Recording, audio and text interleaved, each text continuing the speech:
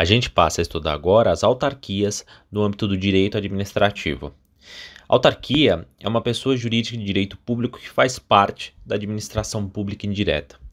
Além disso, ela é criada por lei específica, possui capacidade de autoadministração, sendo responsável pela realização de atividades administrativas típicas do poder público.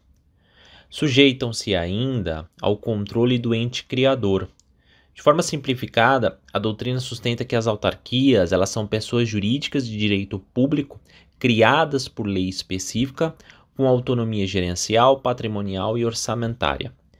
É importante observar que existe inclusive um conceito legal lá no artigo 5 inciso 1 do decreto 267, que diz o seguinte: Para fins desta lei, considera-se autarquia o serviço autônomo criado por lei com personalidade jurídica patrimônio e receitas próprios para executar atividades típicas da administração pública que requeiram, para seu melhor funcionamento, gestão administrativa e financeira descentralizada. E quais são as espécies de autarquias?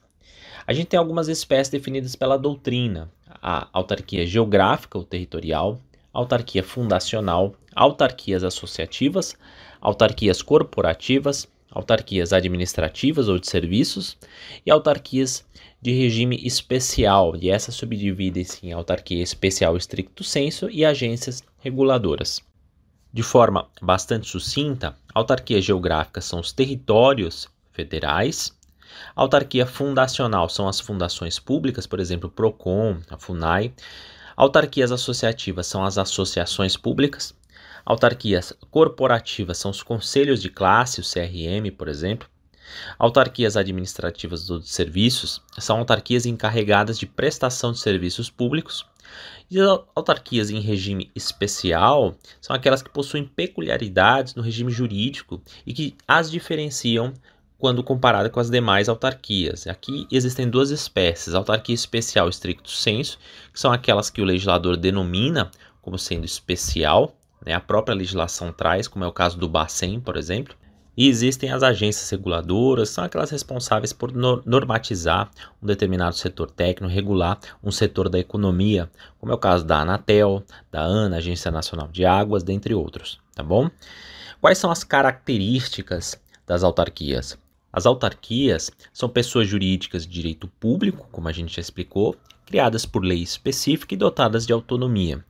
A personalidade jurídica da autarquia, ela tem início imediato contado da vigência da lei que a instituiu e não do registro dos atos constitutivos no cartório, tá? Como é uma empresa, por exemplo. Eu lembro por oportuno que o inciso 19 do artigo 37 fala que lei específica voltada à criação de autarquia. Olha só, ele fala o seguinte: somente por lei específica poderá ser criada autarquia. E segue. Isso significa que lei deve tratar apenas, essa lei específica, ela deve tratar apenas da instituição da autarquia. Ela não pode tratar de outras matérias. Por isso que ela é lei específica, voltada apenas para criar a autarquia ou, no caso que fala do inciso 19, ou para autorizar a instituição de empresa pública, sociedade de economia, etc. Mas ela tem que ser específica, voltada apenas para isso. Da mesma forma, em respeito ao princípio da simetria das formas, é preciso lei para extinguir a autarquia. As autarquias realizam atividades típicas do Estado, é vedado o exercício de atividade econômica por uma autarquia. Elas editam atos administrativos e firmam contratos administrativos, sujeitam-se à licitação e impõem concurso público para admissão de pessoal. Além disso, as autarquias elas são imunes a impostos. Está lá no artigo 150, inciso 6, a linha A da Constituição Federal. Olha o que diz.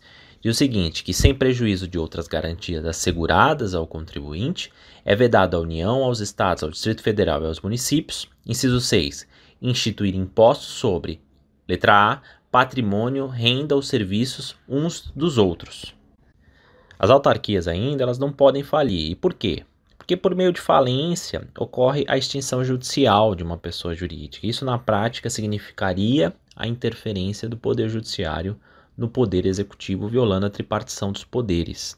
Além disso, não se aplica a lei de falência a pessoa jurídica de direito público, mas apenas a pessoa jurídica de direito privado, justamente porque pessoa jurídica de direito público, ela é criada por lei.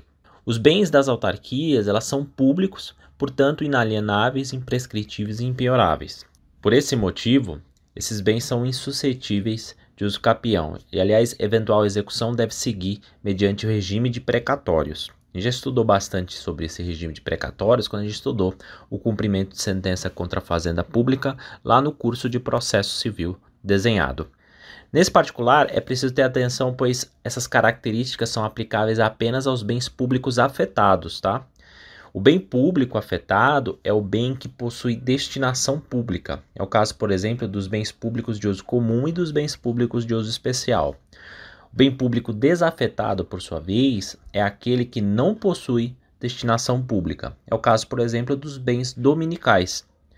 Os bens desafetados podem ser alienados. Quanto ao processo judicial, as autarquias possuem todas as prerrogativas judiciais que possui a fazenda pública em juízo. Então, possui prazo em dobro, remessa necessária, desnecessidade de depósito prévio de despesas processuais, prescrição quinquenal, créditos são cobrados usando aí o processo especial das execuções fiscais da Lei 6.830. Quanto à relação com o ente político instituidor, a gente tem que, em face das autarquias, incide o controle finalístico, ou também chamado de supervisão ministerial. As autarquias contraem obrigações e exercem direitos em nome próprio, possuindo autonomia. Como não são subordinadas, não há que se falar em controle hierárquico. O que existe em verdade é o que a gente chama de controle finalístico. O ente supervisor nessa espécie de controle, no controle finalístico, ele apenas realiza o controle de legalidade da atuação da entidade administrativa. Por fim, a gente precisa ressaltar que a responsabilidade das autarquias ela é direta e objetiva, ou seja, não depende da comprovação de culpa. Todavia, é importante ressaltar que o Estado, a administração pública direta, vai responder subsidiariamente caso a autarquia não tenha meios para quitar o débito. E o que são as autarquias em regime especial? As agências reguladoras, elas possuem uma autonomia qualificada, então aqui dentro desse contexto de autarquias em regime especial. São características que diferenciam as autarquias das agências reguladoras as seguintes: as agências reguladoras possuem dirigentes estáveis, mandatos fixos, poder normativo e quarentena. O que, que, é isso de dirigentes estáveis? Os dirigentes de uma autarquia, eles não podem ser exonerados ad nutum, ou seja, exonerados sem motivo. Vale dizer que os dirigentes não ocupam qualquer cargo de confiança. Quanto aos mandatos fixos, a gente tem que os mandatos são fixos e de cinco anos, conforme artigo 6 da Lei 13.848 de 2019. Além disso, uma agência reguladora tem o um poder normativo, poder de criação de regras administrativas para disciplinar o setor. E por fim, existe a quarentena. Os dirigentes de uma agência reguladora, eles são aprovados pelo presidente da República com a aprovação do Senado. Contudo, segundo a característica da quarentena, após eles cumprirem o mandato, eles ficam seis meses afastados da função e proibidos de atuar no mercado regulado pela agência, embora recebam normalmente. Esse prazo de seis meses é o prazo que está lá no artigo 8 da Lei 13.848 de 2019.